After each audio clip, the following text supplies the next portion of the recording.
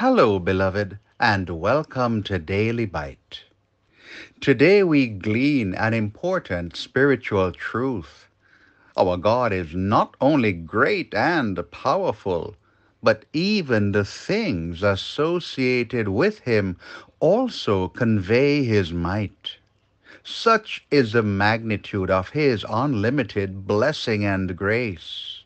In the first reading, from 1 Kings chapter 8 verses 1 to 13, we hear how the ark with the two stone tablets, sacred vessels, and statues of the cherubim were conduits for the glory and presence of God to appear. In the Gospel, from Mark chapter 6, verses 53 to 56, we hear this incredible experience of the Lord who is not only imparting his healing on those who are sick by his touch, but also that those who touch the tassel of his cloak were made better.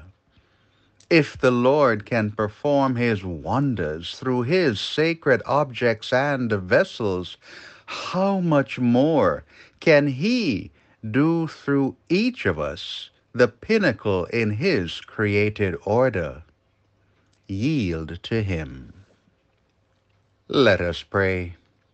Loving Lord, you are worthy to be praised.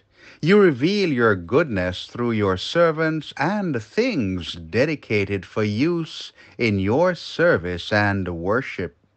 There is none like you who performs such wonders.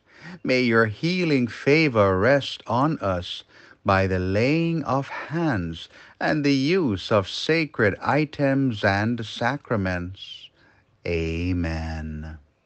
Lay your hands gently upon us.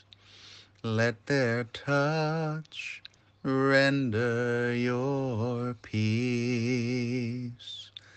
Let them bring your forgiveness and healing. Lay your hands, gently lay